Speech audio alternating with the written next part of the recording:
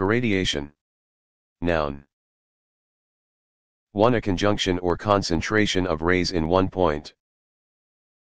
For example, can we find and add a quotation of Francis Bacon to this entry?